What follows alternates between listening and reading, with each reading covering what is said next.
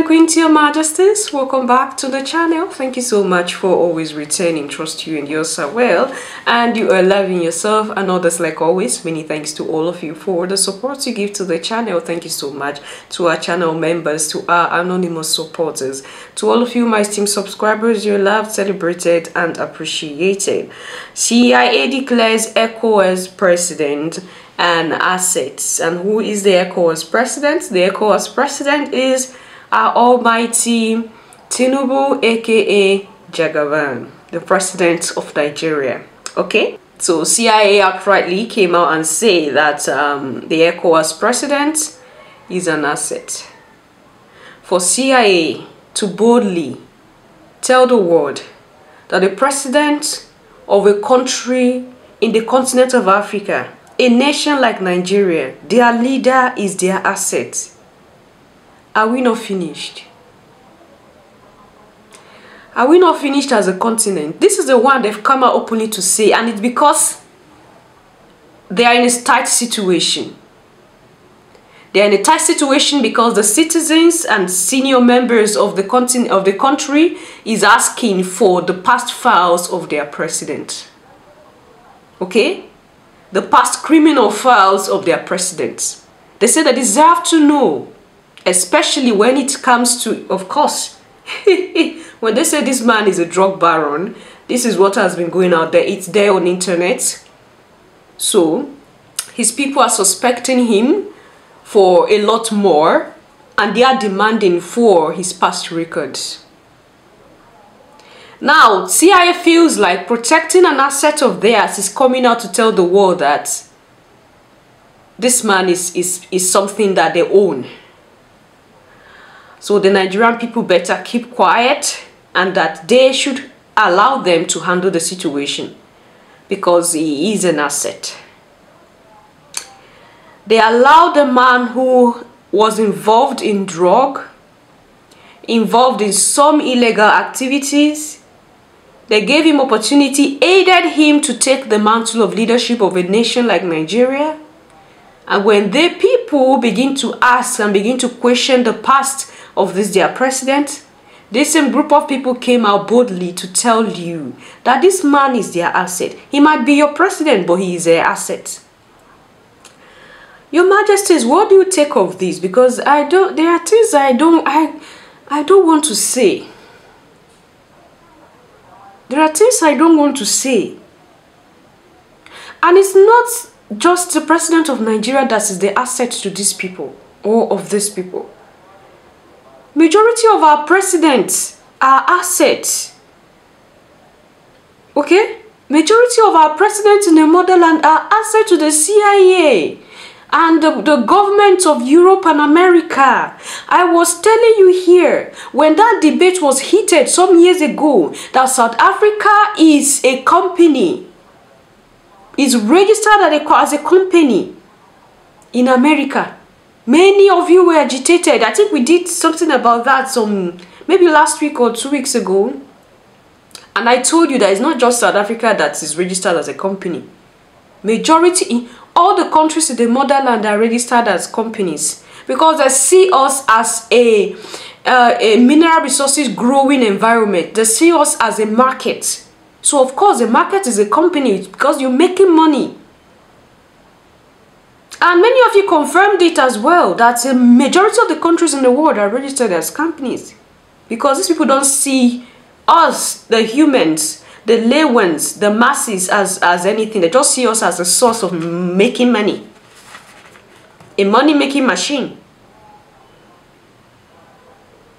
Let's let's listen to this because it's, it's circulating because it's a fact. I, I let's listen to nigerians themselves uh, talk about this because i don't know. This is this is more than me right now your majesties. All right so the news says u.s government tells court tinubu is cia assets. Insists nigerians have no right to access the president past record. Cia confirmed tinubu is active assets active. That means even now they can tell him yes or no. They are the one controlling whatever thing that is doing based off on this news.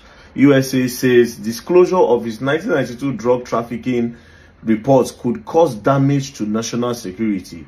Although I have not verified this news, but um, Sahara reporters that posted this. Now, if this news is true that the US actually said this, then this is a very big problem.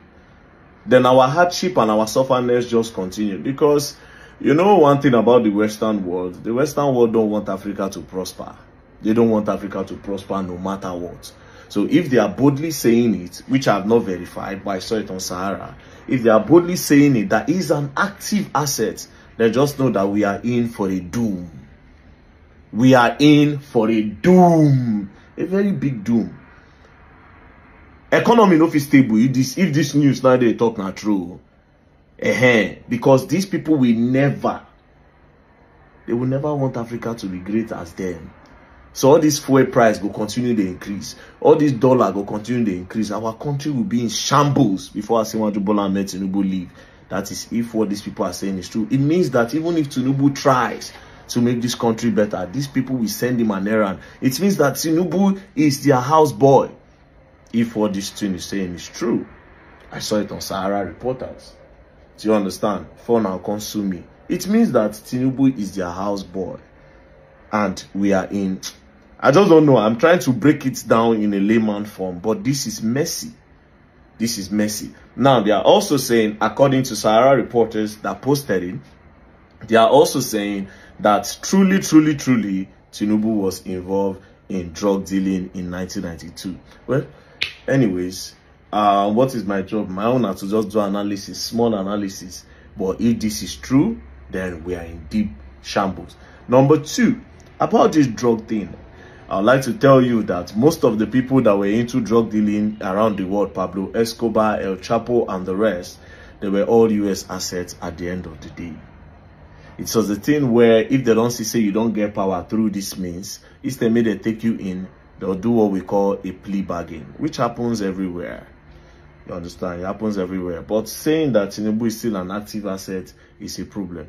Anyways, now God go help us on Nigeria make i no talk to the one wey go make them sue me as i dey like now lagos i dey go for another case with the falanos so.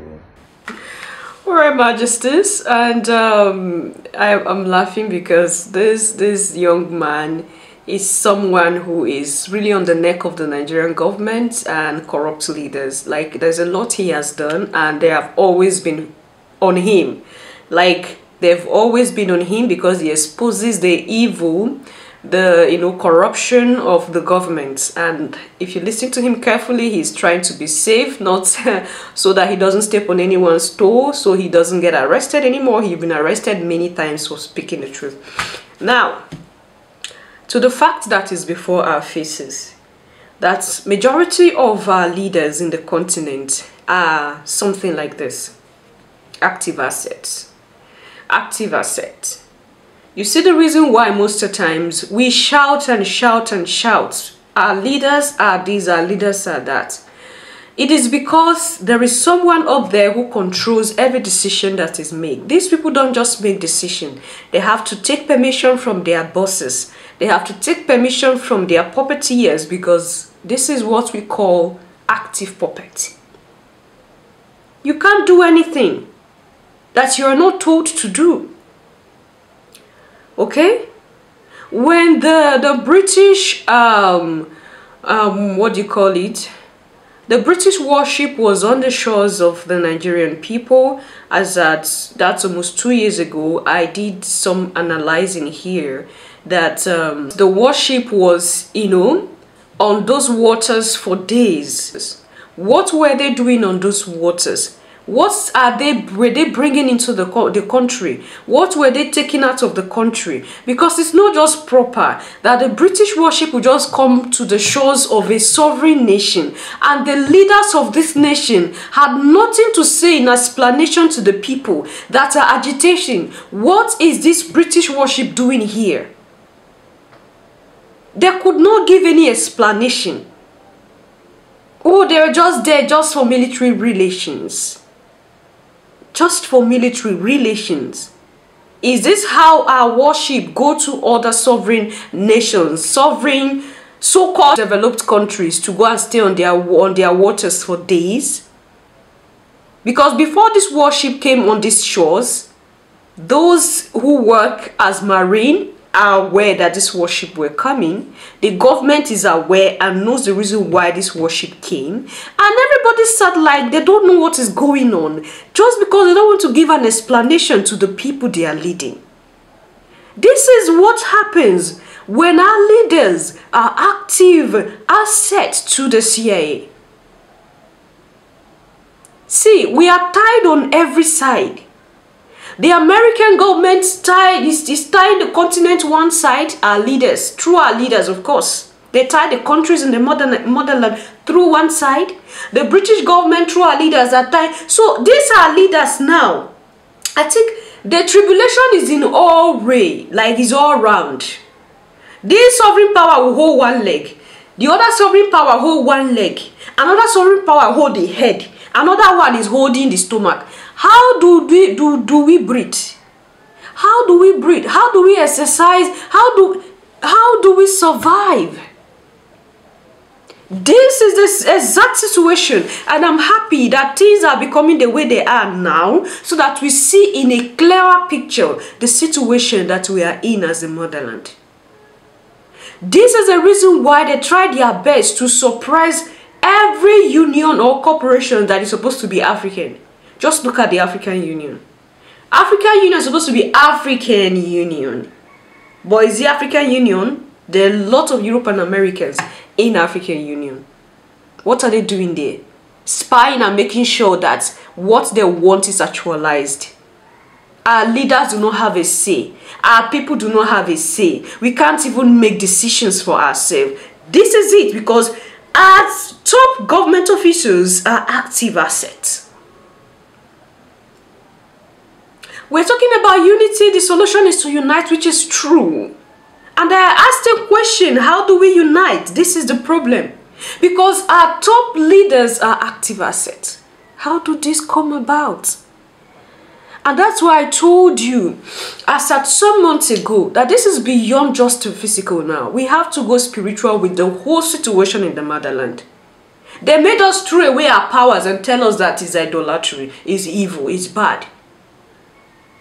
They made us cut off. Did they tell you is, is, is evil, is demonic? Because they know that there will be a time you need these spiritual powers to deal with them.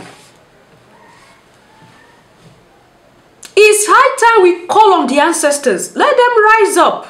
Call on the spirits of the land, the guardians of the land. Your Majesties, this is beyond, is, is, is, is showing that it's getting out of hand. These people are posing as your God now are making decisions for you. The economy can never be stable according to his words, which is a fact. How can economy be stable when your leader, the 001 of a nation, a sovereign nation like Nigeria, is an active asset? Active asset. And this same body, called the CIA, openly told Nigerians that they do not have any right to access their president's past records because they are the one leading and controlling you. You see our predicament, you see the situation, you see what we are in. Your majesties. This is it. The struggle is real, like it's real. And a lot of us are still delusional, believing that white men in your neighborhood are your savior. You, lie, you allow them to sit down and gradually they are now telling you that uh, they are the ones who, you are not even the original of that place. It's gradually this thing happens, oh. Gradually this thing happens. And I just hope that um, we realize on time before it is too late that they are not our friends. There is no way. There is no way. Your Majesties. Leave your thoughts and opinion there at the section and I will see you in my next one. Until then, love yourself, love others, stay safe, stay positive always. Your Majesties. Bye for now.